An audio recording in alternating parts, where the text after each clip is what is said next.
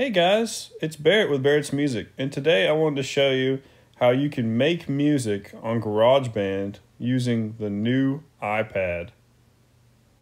So the first thing I picked to use uh, in the song for my first track is a bass bass track. Now, since I'm just kind of playing around, uh, I was just kind of improvising here and, and just trying to come up with some kind of bass line that would uh, work as a foundation for what I was gonna play, you know, on top of it.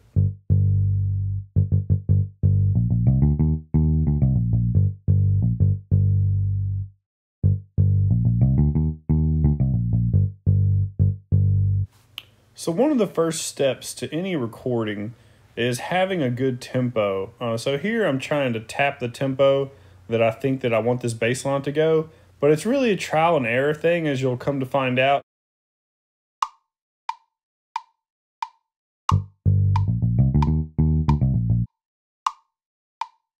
And so here I settle in on 85 because it just sounds right.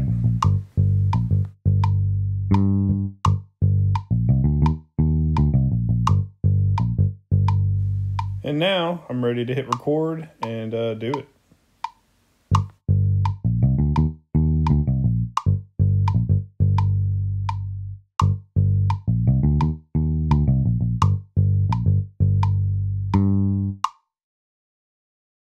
Also, don't worry if your recording, like this bass recording, wasn't perfect, uh, because you can go in and you can quantize. You go to track settings, quantization, and you hit uh, straight uh, go to the 16th note, and then your recording will be right to the click.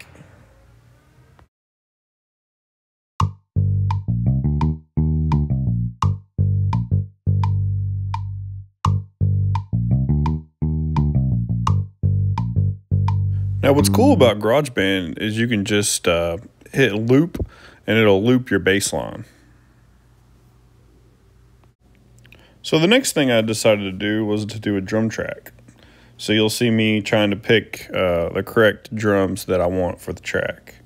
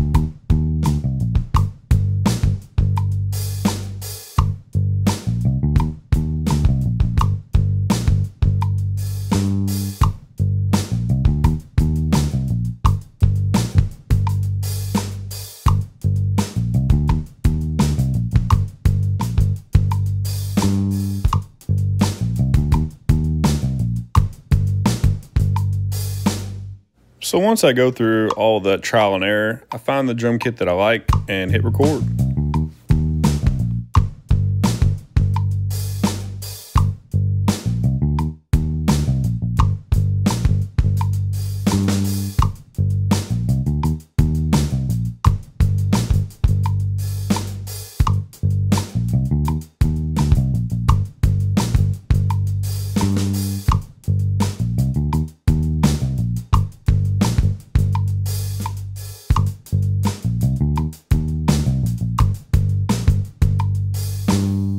Now I'm also going to quantize the drums.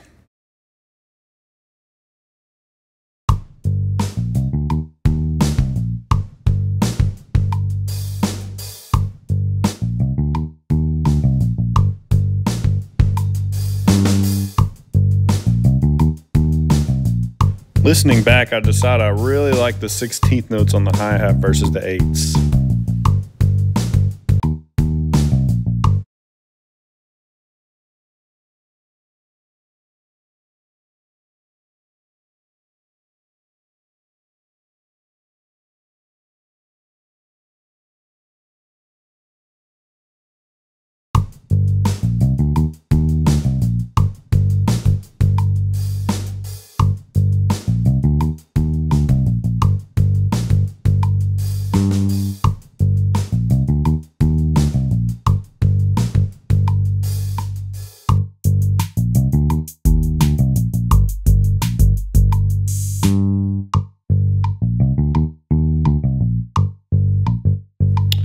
Then also loop the drums.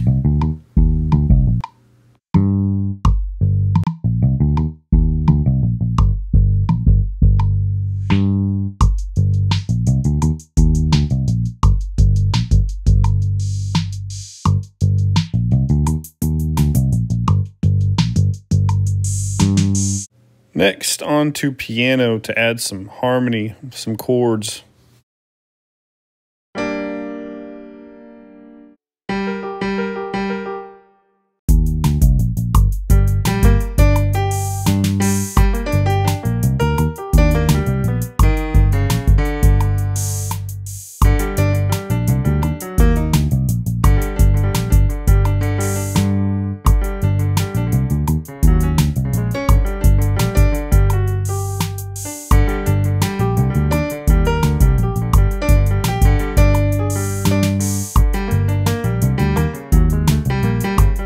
All about experiment, experiment, experiment.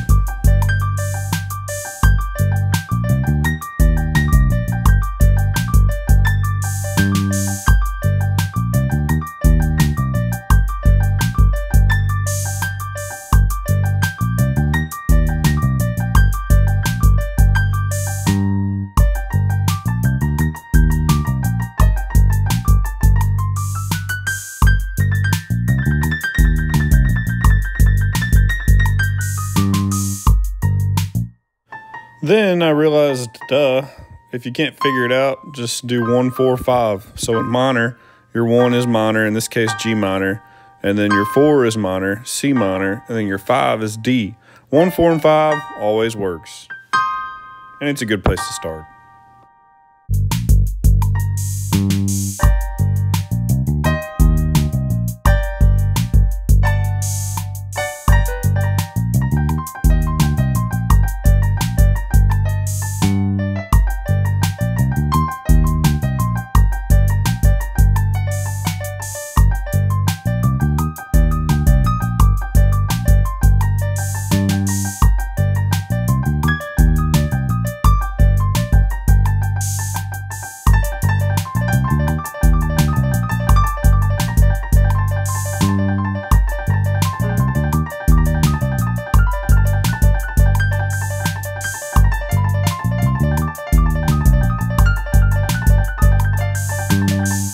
Once I kind of had a framework of harmony, then I decided what voice do I want to use. Of course, piano, but you know what um, what timbre of piano do I want to use?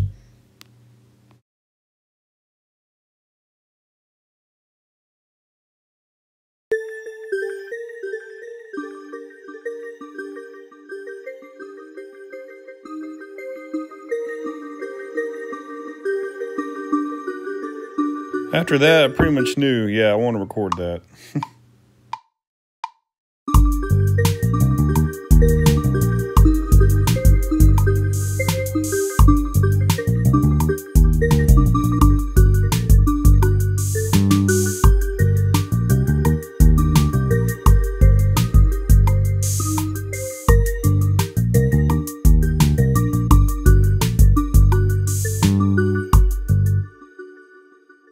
So all the synth effects and things you get out of GarageBand, are definitely the coolest features for sure. I mean, this program is free for Mac users, and it's just insane how many sounds you can get out of the synths and keyboard sounds.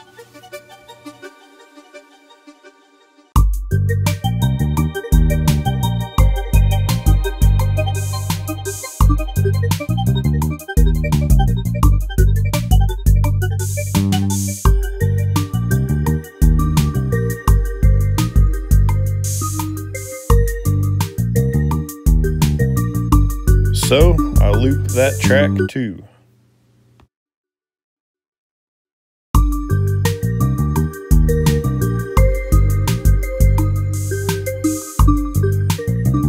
Another really insanely cool feature is that you can edit all the sounds. So what I'm doing here is I'm editing how much high cut I want. So in other words, I'm making it uh, the EQ, I'm making it lower in EQ, as well as just changing the delay and just playing around with the sound. So even though it kind of gives you a preset, you can always alter all of these parameters and get all sorts of crazy sounds. So thanks for watching, guys. Uh, you know, that's pretty much all I did in this little session. Uh, drums, uh, bass, and piano track. But you know, if you're interested and you want to see some more of this type of video, just let me know, you know, in the comments, uh, subscribe, hit me up. I'll see you on the next one, all right? Later.